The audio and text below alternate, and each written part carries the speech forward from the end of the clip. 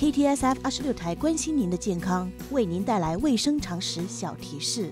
为减少感染疾病的机会，我们应该要经常洗手，每次要洗二十秒，记得要用洗手液彻底清洁双手表面，包括手指尖，最后用清水冲洗干净，用手肘或卫生纸去关水龙头。离开洗手间时，用卫生纸包着门柄开门，保持双手清洁。KTSF 二十六台提醒您，个人卫生做得好，疾病预防成效高。